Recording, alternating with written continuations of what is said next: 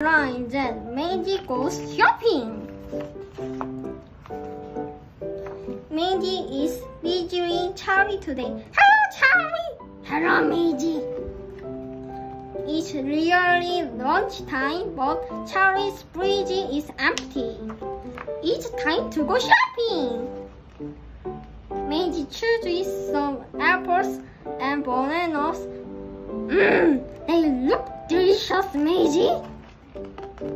Charlie gets some juice. What else does he need?